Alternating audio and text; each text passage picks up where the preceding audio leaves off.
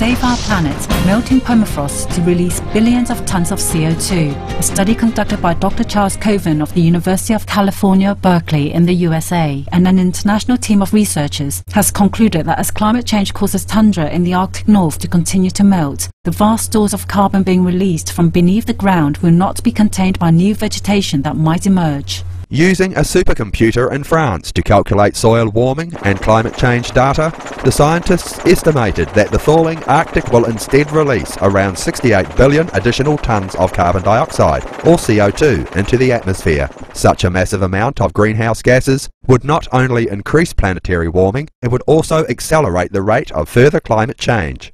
Dr. Koven and colleagues, our thanks for this study that informs of the ever more urgent condition of our planet. May we all be motivated toward caring efforts that stabilize the ecosphere for ourselves and future generations.